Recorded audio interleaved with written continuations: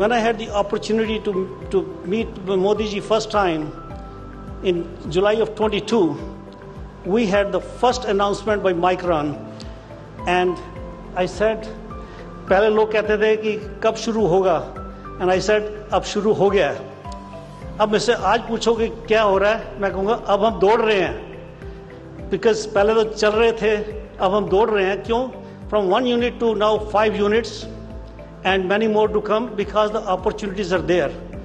And Modi ji talked about Moore's law, which a lot of my colleagues probably fully understand.